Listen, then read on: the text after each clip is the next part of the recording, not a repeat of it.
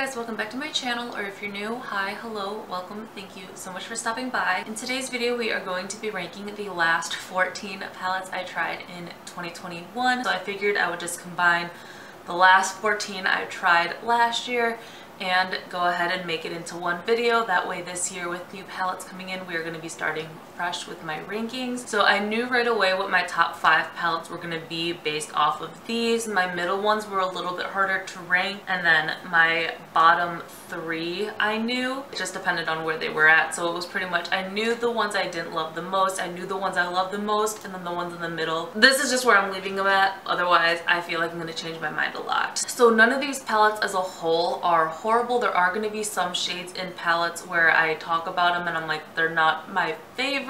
But yeah, I'm to quit rambling. If you guys are interested in seeing where my last 14 palettes rank, then just keep on watching. Alright, so the palette range number 14 is to be the Patrick Starrr One Size palette. So this is at the bottom because these shimmers are hard to work with for me. I really like the mattes. They're pigmented, they're blendable and everything. These shimmers just aren't my favorite. The blue shade is a little bit patchy. When I was using it, I did have to pretty much just pack it on with like a smaller brush. I couldn't really blend it and if I blended it, it was very, very patchy. These shimmers, if you apply it with a brush and you don't wet them, there is shimmer particles like all over your face. I got this in BoxyCharm and I really, really wanted to love it because of the color story, but it just ended up not being my favorite palette, especially compared to everything else.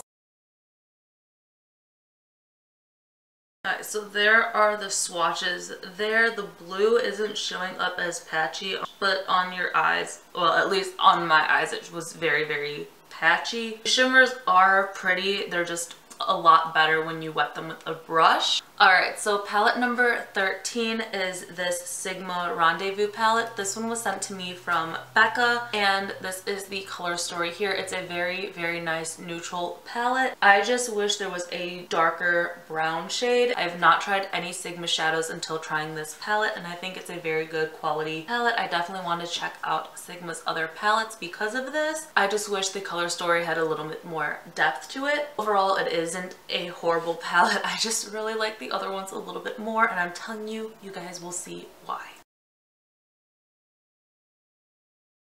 Look how shiny and reflective those shimmers are. Like this one, the light shimmer is so intense and beautiful and I really like the two matte shades. They're good for my skin tone without being too dark or too light where neither of them are to show up. Alright, so palette number 12 is the Jeffree Star Blood Sugar palette. Alright, so I got this in the Halloween mystery box. By the time that I got it and would have filmed a video, everybody would have already seen so many other unboxings of it that I just felt like it was irrelevant. But if you guys want to see an updated Jeffree Star collection video, I know off topic a little bit, but I will definitely do that for you guys just because I got so many good items in that box. It's just, it was so late that I didn't feel like anybody would really watch it. Anyway, so get back on track now. The Blood Sugar palette is one that I never picked up when it initially launched. Even when he did like the anniversary of it, I never picked it up. So I'm glad I got in the mystery box because it was one I was curious on, especially with that top row. I really do not use the brighter shades much. Even this uh, purple shade here that's supposed to be like the darkest purple isn't super, super dark. It's a good quality palette. If this is your color story, then like by all all means I do recommend it. It's just not my preferred color story. For using what a third and a couple so for using half the palette it's why it's ranked a little bit lower because I'm really not going to get use out of this bottom row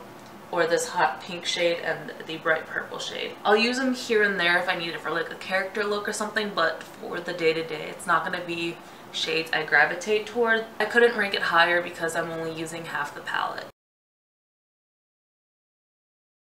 Alright, so here are the shades there, but you can see these shimmers are so wet and like sheeny metallic looking.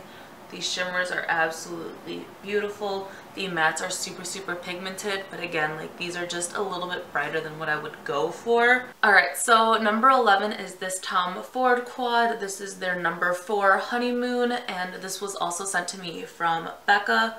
The only reason this is number 11 is because there's no matte shades in here. The deep purple you can, you know, pack it on and whatnot, and not too, you know, metallic shimmery and whatnot, but it's not a full-on matte, but it's a very dark purple shade. If it had a transition shade for me, I would have rated this higher because this would have made it a very easy everyday go-to palette. I'll normally just do my face, use whatever my bronzer is in my crease, and then use these shades. Because like I said, it's not a fully matte shade, but you can give it the depth and everything on your eye. So it's a very good formula. These shades are so, so creamy. I just like the other palettes more because I had the options of mattes and shimmers in all the other palettes. Just look how beautiful. They're not chunky shimmers where you're gonna get like texture on your eyes It doesn't fall out with like crumbliness of the texture. All right, so palette number 10 goes to the Fenty Beauty Snap Shadow in the palette Cadet. I almost ranked it higher because of the color story,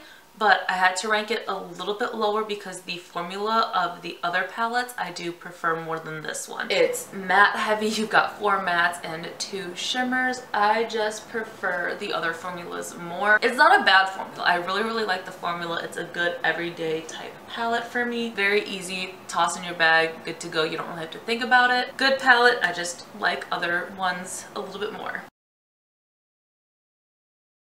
Alright, so there are the shades there. You can definitely tell it has the gold sheen to it, where if you look at it just in the palette, it kind of looks white but then you put it on and it definitely has that gold tint to it. I love that shade as an inner corner highlight, one of my favorite inner corner highlight shades. I feel like that'd be a really pretty face highlight. I don't know why I haven't tried it as a face highlight yet. All right, so palette number nine is the Kaleidos Electro Turquoise palette. And if you guys are old enough to remember when Taco Bell had this color scheme, hi, welcome to the club. Whenever Becca had first shown this palette on her channel, I was like, that reminds me of like old school Taco Bell and after that, she always mentioned how it was like the Taco Bell palette because of me. I want to rank this so much higher. I really, really do. I don't know if it was because, you know, fall time and everything, when I had this and played around with it, that these colors definitely remind me more of like spring and summer and I didn't really reach for it then. The blues are gorgeous. Kaleidos has the most beautiful shimmer formula. If they came out with an all shimmer even if it was just like a six pan like this or if they did one of their 15 pans in an all shimmer I would pick it up. Even though I say it all the time, I love having more mattes than shimmers because I like to build up the depth and dimension. I don't mind if I would have to pull in a separate palette to use matte, just to use Kaleidos' shimmers. They have one of my favorite shimmer formulas ever. They are insane. And then this shimmer right here is also what I have as my inner corner highlight.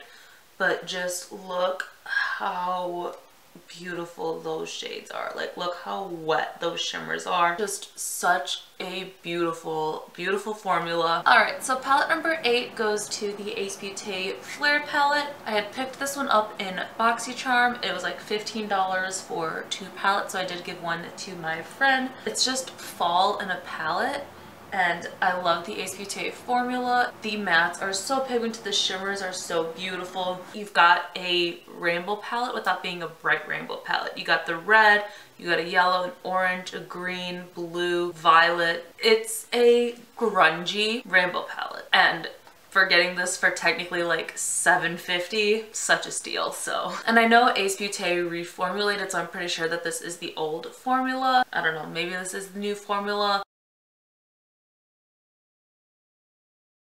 just look how those shimmers are. But just look at that biscotti shade. It is stunning. I'm i'm really curious now. I'm testing this for my own purpose. Maybe i that might be a new formula because these feel a little more textured. Those shimmers felt a lot softer in that Flair palette. I don't know. I thought it would have been a older formula that they would have put in BoxyCharm. The Vintage Dawn palette I got from them definitely feels a little bit different in texture on the shimmers. Alright, so palette number 7 goes to the Midas Cosmetics Volume 2, their Artistry Palette Volume 2. So this was sent to me from Becca, and when she sent me the palette she was going to get rid of and declutter, she was like, this one screams your name along with one of the other palettes you'll see coming up. And I was like, Oh yeah, you're right. It definitely does. I've heard of Midas Cosmetics before. I've never tried anything from them, but after trying this, I definitely want to try more from them. But this was one that I had my eye on when it had come out. I just never picked it up. But now that I know I enjoy their formula, I definitely want to check out what else they have on their site. Such a good palette.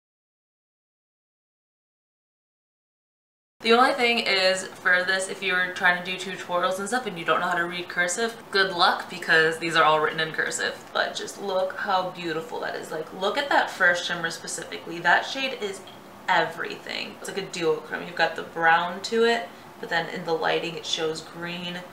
So beautiful. Alright guys, so palette number six goes to my Blend Bunny blends palette. The only reason that this is lower than the other ones is the color story.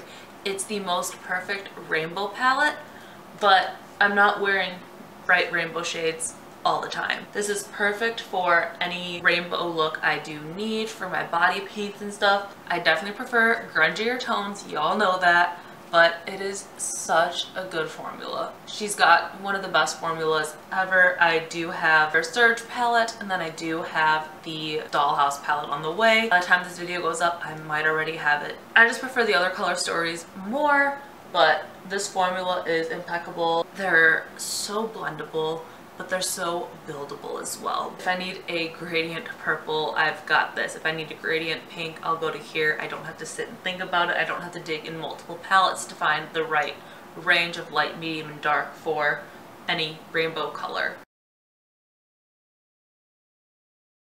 Let me do one more swatch for you guys because I did just grab three very light shades and one dark shade. And then there's the darker orange shade as well. So we did a little extra swatch here, but just look how beautiful those are, especially these two pastel shades for being that pigmented and the white being the way it is. All right, so palette number six goes to my Jeffree Star Blood Money palette. My friend got one of the mystery boxes, but she had already bought the Blood Money palette, so when she got it in her mystery box. She was like, if you want it, you can have it because I know it's your kind of color story and I already love it and I don't need a second one. And I was like, you know I'm gonna take it. Like, I love Jeffree's formula so much. This is just so beautiful. You've got a good range of light to dark shades, a good range from mattes to shimmers. Yeah, I just, I think it's so well done. Alright, so here are the four shades. This first one is a beautiful inner corner highlight. So, so pretty. Alright, so palette number four is the Kaleidos Futurism 1 Sci-Fi Green. This one was also sent to me from Becca, and I'm, I'm pretty sure you guys know why this is in my top five. It is absolutely stunning and this matte black here is hands down one of the best matte blacks I've ever tried. The mustard, the grungy green, the two shimmers here. It's beautiful, it's stunning. These two are a little similar in depth and whatnot, but I don't care. I, I love both of these colors so much, it's fine. I think it's great. I absolutely love the quality of it. Let's see color payoff, the sheen on the shimmers. Such a well done palette, but it's been out of stock for so long. I don't know why they're not bringing it back. I don't know if they're gonna do something similar to this, that they're taking this out so they don't have two palettes, you know, on their site that are very, very similar. I don't know. If they're not discontinuing it, I hope they bring it back soon. I know Kaleidos is never gonna see this video, but Kaleidos, if you somehow come across this, if you're not discontinuing it, please bring it back. If you are discontinuing it, why? Why? That, that's all I want to know. I just want to know why. All right, so palette number three, I have gone in place of putting this as number two and the number two is number three so much, but this is just where we're leaving it. I'm putting the hammer down. This is where we're leaving it, or I'm gonna sit here contemplating the number two and number three spot for the next 40 minutes. So Number three goes to the Beauty Bay Wilderness palette. This is what it looks like here. And when I first saw it, I got vibes of the Melt Muerte palette, which I had been so like sad over. You guys have heard it a couple times here on the channel that I wanted to pick it up. It is one of my biggest regrets palette wise that I don't own in my collection, but I can't justify spending like a hundred plus for the one palette that people are selling it for. So when I saw the color story of this, It's not an exact dupe. I've seen, oh, who was it? Was it, I think it was Amy Loves Makeup that I saw compare this. I don't know if Batty Bean even compared it. I know she said it gave similar vibes, but I can't remember if she did a video comparing them or not. But I'm pretty sure it was Amy Loves Makeup that I saw compare the two. It's so beautiful. I just don't use the reds very often and the other two I just like a little bit more. And I want to say this was like $15 so quality price tag so good. I definitely want to try more from Beauty Bay now because of this palette. The shimmers are so creamy foiled the mattes are so pigmented blendable buttery smooth. And I love that you can just do each row and come up with your own type of look like you can do a full look just using this row, a full look, a full look, and then a full look. Or you can obviously like mix and match around the palette. I know some people have also said they have issues with the shimmers in this palette, like creasing up and whatnot in their eyes because of the creamy formula of it. I haven't had the issue and I have really oily hooded eyes. I have like triple creases in my eyes like when they're open and whatnot, so I don't know. I haven't had that issue, but I know other people said they have. Look how beautiful it is. I love this as an inner corner highlight shade so much. All right, so the number two palette goes to the Jeffree Star Weirdo palette. This was a shocker to me. When I saw him release the palette, I got really excited except for the silver, the pink, and this bright red. But once I got it, it's pretty much the shade that I don't use. It is a little bit bright for my liking of a red, but this is your only shimmer. And when you do the looks and you pop this as an inner corner highlight, it is gorgeous. I've gotten so many compliments every time I wear this palette. I've just used this so much since I got it. I could have done without this shade and made it something else but covering this shade up, I really, really enjoy all the other colors in here. I enjoyed this one more than I thought I would for sure, and it definitely surpassed my thoughts. Like I thought I was just gonna get this and use it here and there because I got the mystery boxes. I mean, I knew I was gonna love it because of the formula, so there are the shades there and I love that it's a muted pink. I was scared. If you guys want to see my go-to look using the Weirdo palette, definitely let me know. I love it so much. Alright, so if you haven't guessed already, my number one palette is my Blend Bunny Surge palette. I talked about how I've loved her matte formula in the Blends palette, but her shimmer formula is insane as well. This color story is just so beautiful, so perfect. I initially saw it and I was like, grungy, it's fall, it's everything but you've got your pastel shades, you've got your neon UV reactive shades. I feel like this is a good palette all year round. I'm wearing it on my eyes today. I have this whole blue row on my eyes as well as that shimmer in the Kaleidos palette. The formula is out of this world and it's so user friendly. If you look at this color story and you're like, I really like the colors of the palette, I just don't know how to work with them, she lays it out perfectly for you. You can go in the rows, you can look at it in quads or like six pans and kind of do your own thing going like this, like those six together, these six together, even these six together. It works. It's just, it makes it so user friendly. I, I don't have anything bad to say about this palette. If you guys have had your eye on this, I definitely say to check it out because you will not be disappointed. I definitely want to get a black light just to see how these react with it. I've used them in looks normally, but I want to see how they perform with a black light and just what the effect gives because I feel like these would be so fun to use in body paints. Look how beautiful those are. Those shimmers are insane.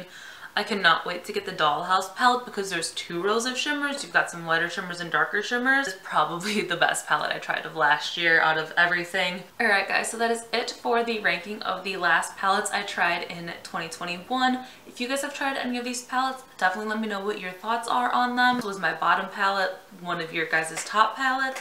If you guys want to see specific looks using any of these as well, definitely let me know. Let me know what your favorite palette of 2021 was, what your least favorite palette of 2021 was, and what you thought of the palettes I have in this video. And I'm gonna quit rambling. I feel like I rambled on so much in this video. If you guys like the video, please don't forget to give it a big thumbs up. Hit the subscribe button down below and turn on the little bell notifications so you guys know every single time that I upload. And yeah, love you guys and I'll see you in my next video. Bye!